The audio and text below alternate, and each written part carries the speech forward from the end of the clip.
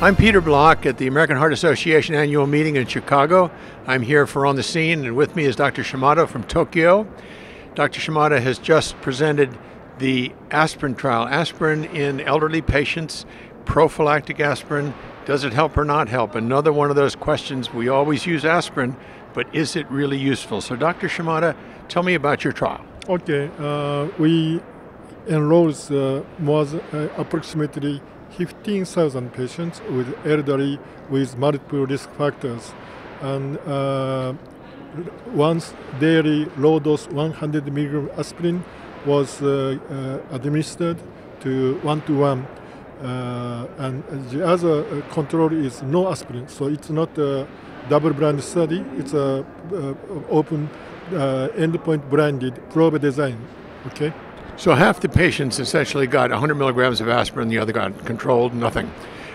what did you find? I guess okay. that's the answer. Uh, the, as a primary endpoint, we, we got a hard endpoint. It's a cardiovascular death, non-fatal MI, non-fatal stroke. The, as a primary endpoint, we, we, we couldn't find any significant difference between the two groups.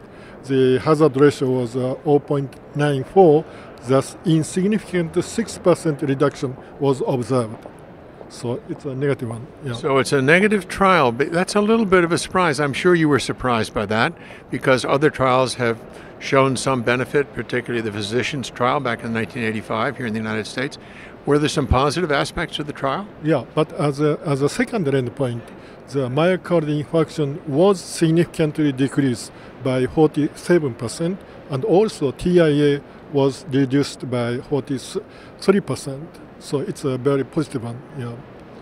Okay. Uh, there are other trials now that are in practice that we're still waiting for. Yeah, right. Three trials, trials that have diabetics that get prophylactic aspirin, very elderly patients, and patients with multiple risk factors.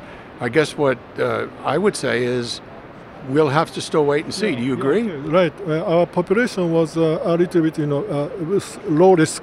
So the ongoing studies, studies might be a higher risk, uh, elderly diabetes. So we, we, we should wait the results of that uh, uh, ongoing studies. Okay, so the teaching points here are the AVOID trial shows no difference in aspirin uh, pro- given prophylactically, but good signals about recurrent myocardial infarction, and also TIA. And three trials out there are still important trials. These are low risk patients you studied, and yet the higher risk patients may well show a benefit. The jury is still out. We would agree on that. Okay. Thank you.